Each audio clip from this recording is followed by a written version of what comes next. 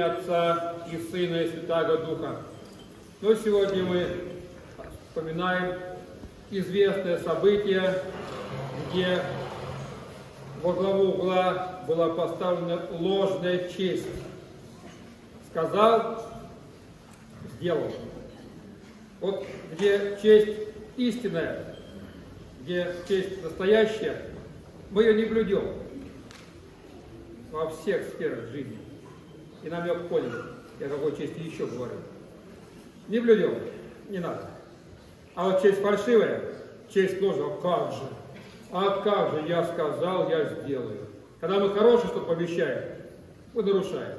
То есть, когда мы обещаем что-то хорошее, мы хозяева своего слова. Слово дал, слово взял. Когда пообещаем что-то плохое, а как? Я пообещал. И особенно доходит, когда дело касается церкви. Вот приходят люди там, беда, несчастье, там детьми что-то, какие-то проблемы сложности. Я как священник вижу, можно помочь, можно оставить исповедь, причастие по соборочку. Нет, по бегом, я ребенку обещала какую-то глупость, какую-то какую там сводить куда-то. Но я же обещала ребенку. Когда что-то хорошее ребенку, так нужное, полезное, как пообещал, так сказал, нет, подожди, перебьешь, успеешь, тут другие дела более важные есть. Так, как тот чего-то плохое, когда вот, Богу идти, или обещание какой-то какой глупость. Конечно, обещание глупости ценит, такая же честь. Так вот, Ирод точно так же. Да, можно сказать, что там выпил немножко, или там лишнего, не знаю, как, как это было, и нам упорство сделал, что там типа с пьяну сказал, да, с пьяну, не спорю. Но мы читаем Евангелие, и там сказано, опечалился царь, опечалился, что не такой был пьяный, не такой был глупый. Так? Он соображал, что он делал. Но он думал, там попросит, там что-то каких там, ну не важно, что там, что женщина мог попросить. А тут голову. Так, опечалился, значит, соображал все, понимал все, но убоялся ради этой ложной чести. А теперь давайте подумаем. А на что он променял свою, свое царское слово? На что? Вот так, на что? На женскую прихоть. И ладно бы прихоть, а то женская месть. Иоанн Креститель обли, обличил их сожительством. Нехорошее. Просто так, мало того, что будут, еще с, э, с сестрой, братом. Так, она, значит, он, он понимал, он, как мы читаем в Евангелии, любил послушать Иоанна Крестителя, любил его. И посадил в темницу не за то, что обвинил, а то, что опять бабы накапали. Значит, идет на поводу у кого? А все же что, я сказал, я сделал.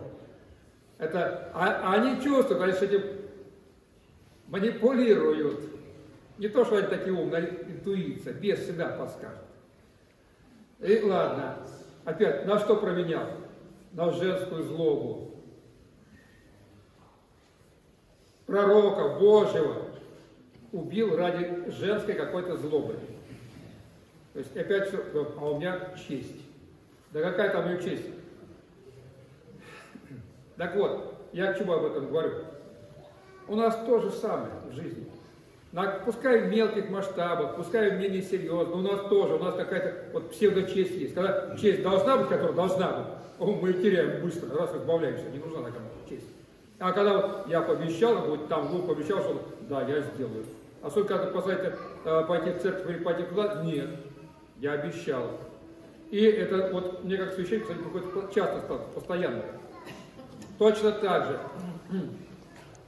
Ирод, пример мужчинам и мужьям. Мало ли что и захочется. Так? Нет, вот я сказал. Тут же и голова-то не нужна была. Дочка взяла, она не нужна, перепугался, дала матери. Матери тоже не нужна. А он сделал преступление, и оно на нем висит. Потому что он послушал женские глупости, женскую злость, женскую какой-то там месть. Поэтому нам много всякой дури в голову лезет в этой жизни. И мужчинам, и женщинам, всем.